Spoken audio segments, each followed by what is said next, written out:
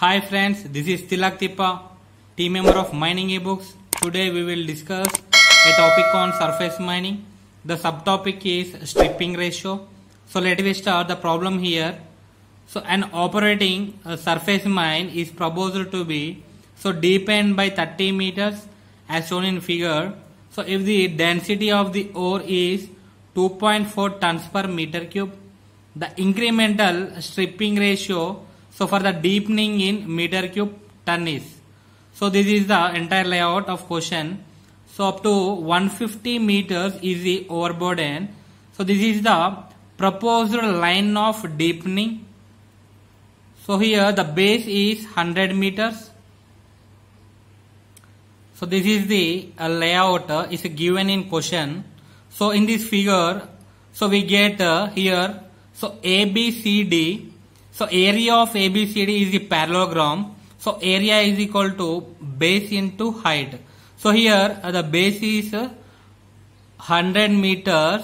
So into height is the so 120 meters. These 150 meters is subtracted with 30. So we get here 120. So height is 120. So this is the first equation. So here the area of C, D and F, G. So this is also one parallelogram. So here the area of CDFG is nothing but uh, so area is equal to base into height. So here the base is 100 meters and the height is 30 meters. So this is the second equation. So here the area of a trapezoidal so EGHI. So this EGHI are the trapezoidal.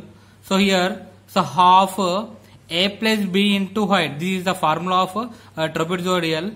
So here half into so a is the 200. So e to f and f f to g is the long base. So here the so 200 uh, the base is 200.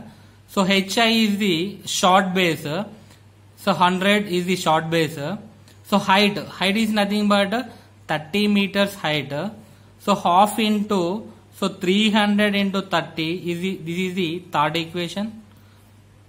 So the stripping ratio is equal to area of ABCD into so unit width of meter cube is divided with the so area of CDFG plus EGHI so into unit width so the, so multiplying with the a density of rock in tons per meter cube.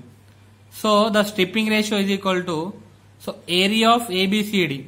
So area of ABCD is 100 into 120. So 100 into 120. So into 1 is the unit width of the parallelogram.